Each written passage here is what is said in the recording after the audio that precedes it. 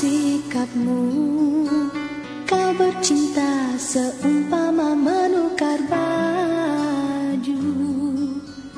Kau turutkan hati Kata nasihat tak